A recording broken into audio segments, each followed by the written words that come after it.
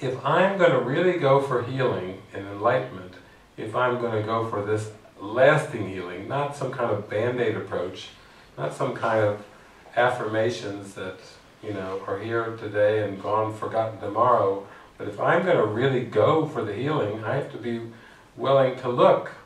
I do have to look within. And so I don't like to sugarcoat things. I mean, we show these movies, we have all kinds of tools and and exercises, all kinds of sessions. Just it's just a huge array of things that are just tools and symbols and devices that we have found are helpful. My thing has been whatever I found that I found was helpful in my healing process, I want to share it with all my brothers and sisters. Um, it, I feel like that's a way of saving time.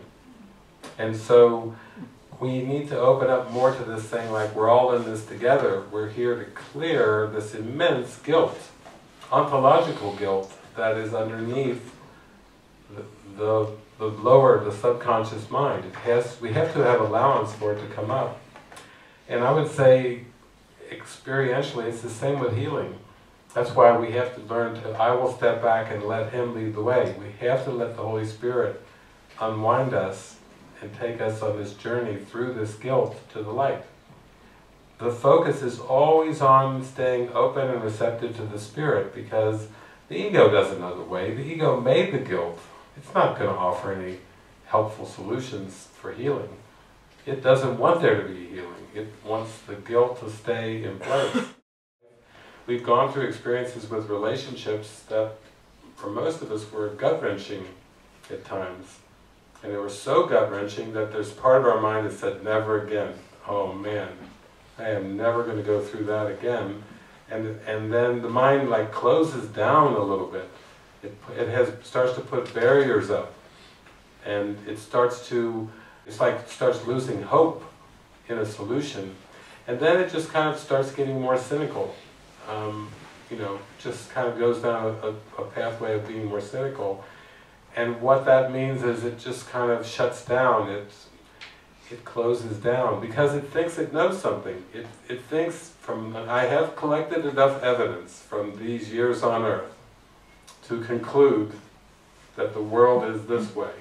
What happens when the mind shuts down like that and can't feel and can't feel love anymore. I've concluded something cynical. I know I've I've been overwhelmed.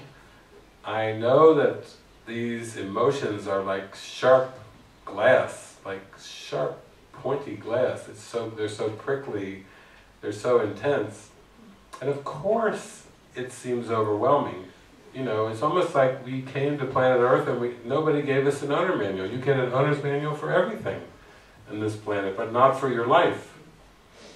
Nobody tells you how your mind works. Nobody tells you where the emotions come from. Nobody delineates what your goal should be. Nobody tells you how to discipline your mind and, you know, to train your mind to align with spirit. Nobody says that. It's almost like you got to find it out, you know, on your own.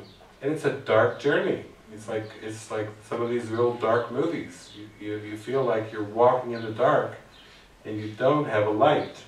And you stumble and you trip and you fall down and you fall into pits and snares and you get trapped.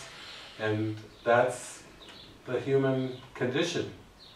But actually, just you raising the question, just you exposing, this is how I feel, that's the first step in the turnaround. If we don't have permission to talk about how scared we are, if we don't have permission to talk about how overwhelmed we are, or paralyzed we seem, how are we going to learn to take other steps? We have to know that it's safe to do that even. That's part of the, the healing process. And then I think also you start to feel like you have support. That, that that's the most important thing, that you're not in this alone.